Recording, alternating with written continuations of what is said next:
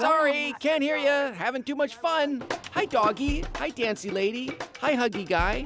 Hi, local comedy theater. San Juan is home to Teatro Breve. They're a hugely popular sketch troupe that has been selling out shows with jokes about the hurricane and blackouts.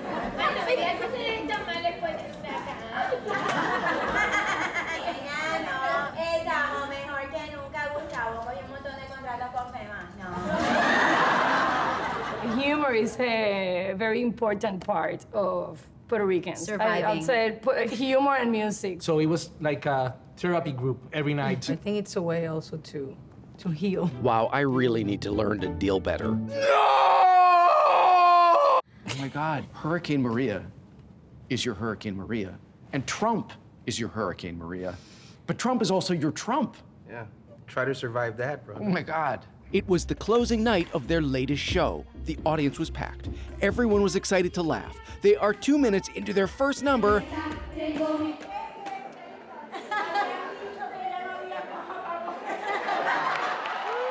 And to think that I almost forgot about the fucked up power situation in Puerto Rico for five precious fucking minutes.